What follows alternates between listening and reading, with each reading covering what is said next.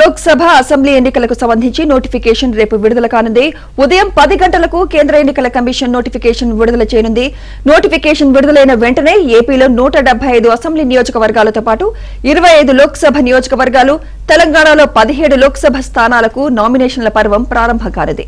రేపటి నుంచి నామినేషన్ల ప్రక్రియతో ప్రారంభం కానుండగా మే పదమూడవ తేదీన ఎన్నికలు జూన్ నాలుగో తేదీన ఎన్నికల కౌంటింగ్ జరగనుంది.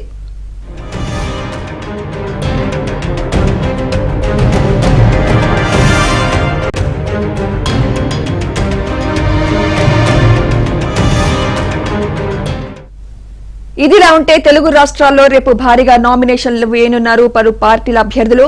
ఇప్పటికే నామినేషన్ల పత్రాలతో పాటు వాటికి జతపరచాల్సిన వాటిని అభ్యర్థులు సిద్ధం చేసుకున్నారు.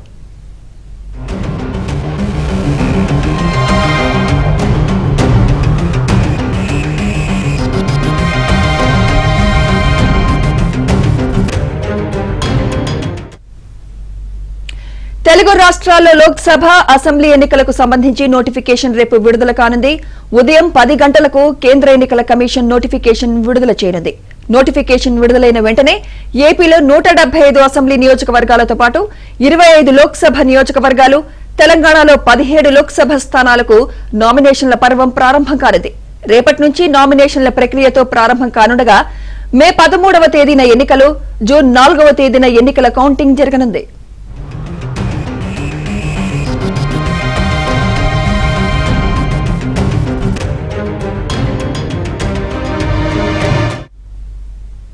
ఇదిలా ఉంటే తెలుగు రాష్ట్రాల్లో రేపు భారీగా నామినేషన్లు వేయనున్నారు. పలు పార్టీల అభ్యర్థులు ఇప్పటికే నామినేషన్ల పత్రాలతో పాటు వాటికి జతపరచాల్సిన వాటిని అభ్యర్థులు సిద్ధం చేసుకున్నారు.